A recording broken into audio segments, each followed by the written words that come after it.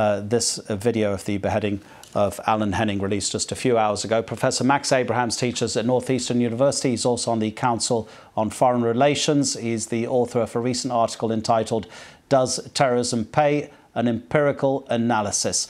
Uh, Professor, what's the aim of the beheadings? Uh, apart from the clear barbarity, are they political in terms of their statement, or do they have a strategic aim? Sure. Well, I mean, uh, terrorists, by definition, uh, have expressed political grievances. And there's a real irony about terrorism because, on the one hand, to be terrorists, they have some sort of a strategic or political demand for governments to be conciliatory for governments to make concessions, for example, to get out of Syria or to get out of Iraq. But the paradox is that in the face of terrorism, when people like Foley or Henning or Sotloff or Haines have their heads chopped off, governments don't become more conciliatory. Quite the opposite. They tend to go on the offensive. And we've seen the American public get mobilized precisely because ISIS is chopping off our journalists' heads. And yet Turkey managed to extricate almost 50 hostages from Syrian territory. How did it do that? Well, that's a very good question. And frankly, it, it, remains a bit of a mystery. But I think that Turkey has much better relations with ISIS and with Nusra than, say, the United States or the UK does.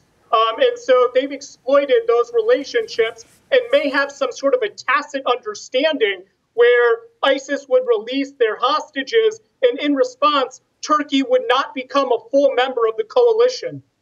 Just a few minutes ago, one of your colleagues at Georgetown University, uh, Professor Scheuer, I put it to him that if ground troops went in to fight IS, would they win? And he was pretty emphatic and said no, they wouldn't. What do you think?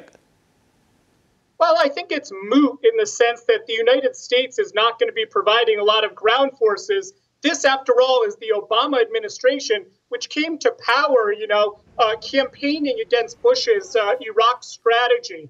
Uh, for in, in Iraq right now, we do have forces on the ground, and they're making a lot of progress. The Peshmerga forces, the Iraqi federal forces, some Shia militia helped out with U.S. airstrikes. Together, that combination in Iraq is working. In Syria, there are no ground troops there are these moderate forces who won't be trained uh, for another year, and even then, there will only be about 5,000 of them, and they don't like the United States, and we're hardly even talking with them. So there, there really is no game in town in terms of ground forces in Syria. Do you think in any way the airstrikes are in fact counterproductive and maybe bringing more support to Islamic State? Yes, and in fact, there is evidence of that. You know, there were there were all these rival groups operating in Syria, in particular. Nusra was is a very big one. That's Al Qaeda's affiliate there, and then there's the ISIS group, um, which has distanced itself from Al Qaeda. But since the United States has been uh, leading this coalition of airstrikes in Syria, we see evidence that the groups are actually merging. Um, and that's a real problem particularly because Nusra has more popular support on the ground in Syria than does ISIS. And so now the population is very torn about whether or not it wants the United States getting involved there at all.